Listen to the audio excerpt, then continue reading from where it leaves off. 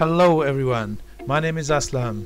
Today I will demonstrate to you a very special Windows desktop application that will allow you to import thousands of products into WordPress WooCommerce platform. This application will save time creating and updating products and managing your product catalog. Save yourself the hassle of making changes one by one with Real Computers Easy Product Upload. What I have here is a very basic installation of WordPress with WooCommerce installed. Uh, products section, you can see there are no products. In the categories, there are no categories defined.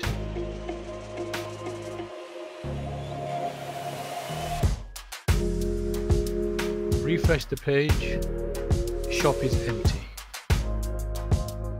I will now use the WordPress WooCommerce Easy Product Upload Lite version to demonstrate how the CSV can be created and uploaded. Create unlimited number of products. I have four in this demo I'll just go into one product. All the parameters are defined. The categories are selected. Images are also selected. I will export the data to CSV by highlighting all the products. Right click, export.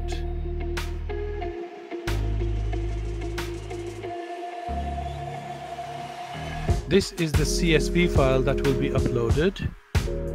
But before that, we must upload all the images to our web server. I will do that with the help of an FTP program.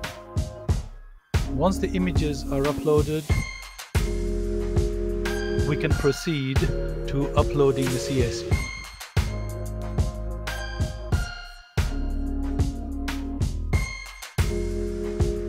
run the importer